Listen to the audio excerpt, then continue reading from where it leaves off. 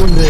Cigarette lighter. இன்று வழக்கமாக cigarette பிடிப்பவர்கள் cigarette லைட்டரை கையுடனேயே வைத்திருப்பர். அவ்வப்போது பிடிப்பவர்கள் கடைகளில் தீப்பெட்டி வாங்கி பயன்படுத்துவார்கள். ஆனால் தீப்பெட்டி கண்டுபிடிக்கப்படும் முன்பே சிகரெட் லைட்டர் கண்டுபிடிக்கப்பட்டுவிட்டது.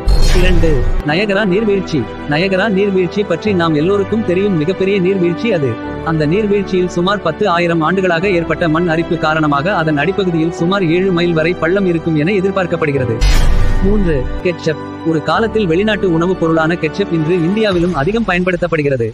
அதன் அடர்த்தி தன்மை காரணமாக கெட்சப் மிக மெதுவாக தான் பாட்டிலிலிருந்து வெளியே வரும் கெடப்பாட்டிலிருந்து வெளியே வரும் வேகத்தில் ஒரு பொருள் ஒரு இடத்தை விட்டு வேறு இடத்திற்கு நகர துவங்கினால் அது ஒன்று ஆண்டிற்கு இருபத்தைந்து மைல் தான் கடந்திருக்கும்.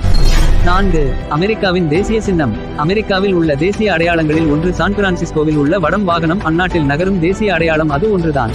ஐந்து கத்தரிக்கோல். உலக புகழ் பெற்ற மோனாலிசா ஓவியம் பற்றி எல்லோருக்கும் தெரியும். அதை வரைந்தவர் லியோனார்டோ டாவிஞ்சி இவர் பல துறைகளில் திறமை வாய்ந்தவராக விளங்கினார்.